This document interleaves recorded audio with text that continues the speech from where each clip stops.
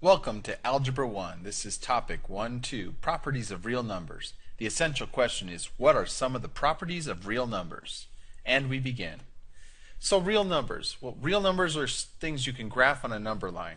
Below, I have a number line. Now, numbers you graph on the number line could be negative 3, because this is on the number line right here.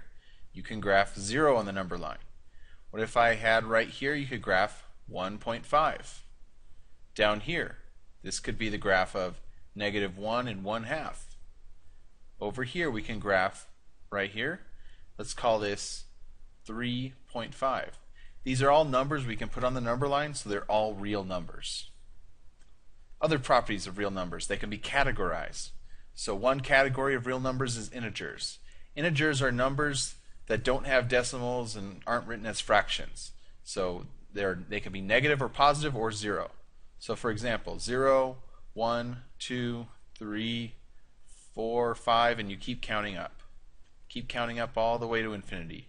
And then you go to the negative direction, negative 1, negative 2, and negative 3, and you can keep going down that way. So those are integers. Whole numbers. Whole numbers are just a subsection of integers. Whole numbers include 0 and everything above that. So 0, 1, 2, 3, 4, and keep going up. There are no negative numbers. Natural numbers, it's a subsection of whole numbers. It's all the whole numbers except for 0. So you start at 1, 2, 3, 4, and you keep counting up. Two other ways to categorize real numbers are rational and irrational. So rational numbers Rational numbers can be written as a quotient of integers. Quotient, you're dividing. So this can be represented as a divided by b. So that's the formula here, and a and b are some integers. So a could be an integer. Let's say a is negative 2 and b is 5. This would be a rational number. We could also do 1 over 10. This is also a rational number. Rationals can also be terminating decimals. So 0.125. Terminating means it ends. So it doesn't keep repeating forever. It doesn't keep going on. It just stops at 5. Another one could be 0.5. This is a terminating decimal. Repeating decimals. This means that there's a pattern that keeps repeating forever. So for example, 0.11111 repeating forever, just a bunch of ones. Another example could be 0. Point, let's go 3, 3, 3, 3, keeps repeating forever. These are two, these are two rational numbers. The reason they're rational is because you can write them as a quotient of integers. So for example, the 0.125 you can write as 1 over 8. 0.5 is also 1 half. Repeating decimal right here, repeating 1 forever, this is equivalent of 1 ninth. And right here, repeating the 3 is, since this is repeating 1 is 1 ninth, repeating 3 is 3 ninths, which can also be simplified to 1 third. Irrational numbers. So irrational numbers are decimals that neither terminate or repeat. So they don't stop and they don't repeat a pattern. So one example of this is the number pi. Pi, we usually call this 3.14. We're just rounding it to 3.14 because it actually keeps going on forever. And this number doesn't repeat and it doesn't stop. Another thing with irrationals is you cannot write as a quotient of integers. So you can't write it as a over b pi can't be represented with a over b as two different integers, or two integers. So that doesn't work. Uh, other things about real numbers. You can have opposites of real numbers, and this is called the additive inverse. The formula for that is if you have a number a and you add the negative of a, this is always going to add up to 0.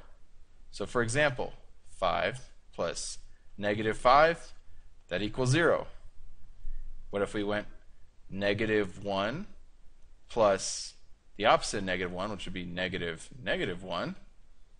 Well, negative negative 1 is just positive 1, so that's negative 1 plus 1, and that equals 0. So that's opposites. Uh, real numbers also have reciprocals. It's a multiplicative inverse. What this means is if you have a number a, and you multiply it by the inverse, which is 1 divided by a, this always comes out to 1. So for example, what if I had the number 5? And then multiplied that by the reciprocal, 1 fifth, that comes out to 5 over 5, which reduces to 1. properties of real numbers. So these are four properties right here. We have the commutative property. What does that mean? That means a plus b equals b plus a.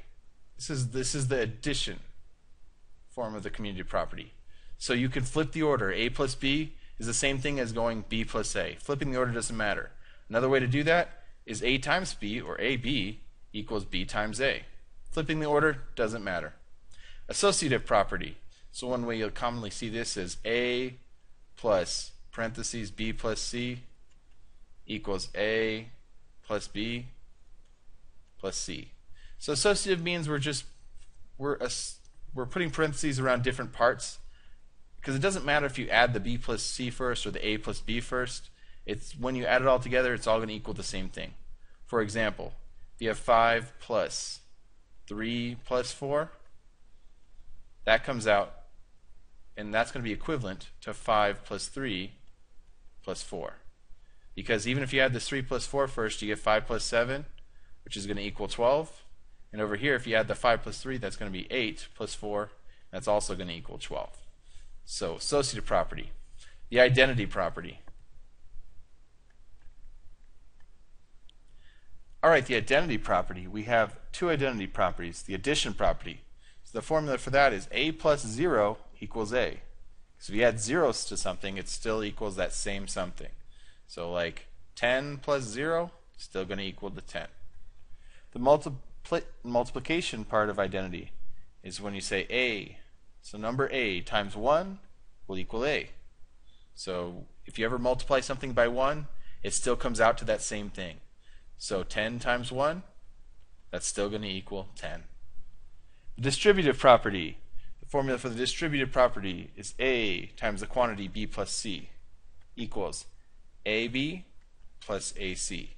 So what's happening here is you're distributing this A to both the B and the C.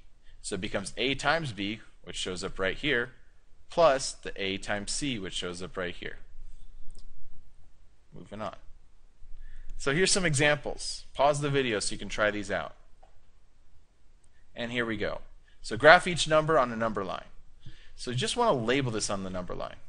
So what I'm going to do is take that negative 2 and I'm going to move it to where it is in the number line, draw a dot. Well, negative 2 is pretty easy. It's right there. So negative 2 is right here. Now I'm going to take that 2 and 1 half. Well, 2 and 1 half, that's halfway between 2 and 3. So that's going to show up right here halfway, and that's 2 and a half. That's about 2.5. Square root of 10. Okay, it's a little trickier. Like, wait, where's that in the number line? Well, what you want to do is you want to find perfect squares that are close to 10. I know 10 is close to this, well, we'll say it's close to the square root of 9. Square root of 9 equals 3. 10's a little bit bigger than that. So this square root of 10 is going to be just a little bit more than 3. So it's 3 point something. I don't know what that is. You can plug it in a calculator. We're going to put it right about there. Last example. Pause the video and try it out. And let's finish this. So we're comparing the two numbers. Use greater than or less than. Negative 4 and negative square root of 4. Well, when you square root something, you know, this if you square root 4, that's going to equal 2. So negative square root of 4, that's the same thing as negative 2. Negative 4 and negative 2, which one's which inequality am I going to use? Well, the negative 2 is bigger, so it goes that way. It is less than. Negative 4 is less than negative 2. Negative square root of 38 and 6. Well, 38 is close to the square root of 36, which is 6. And since 38 is a little bit bigger, I know this is going to be a little bit bigger than 6, so it's like negative 6 point, uh, maybe it's 1 or 2. I'll just guess 1 as long as we know it's bigger than 6. So the inequality here, this is a negative. Well, I guess this didn't even matter anyways, because this is always going to be less than. A negative is less than a positive. This last one here, square root of 26. That's close to the square root of 25, which equals 5. So it's going to be something that's a little bit bigger than 5, about, let's call it 5.1 something. So well, that's definitely going to be bigger than 4.7. So this is also 4.7 is less than square root of 26. And that is it.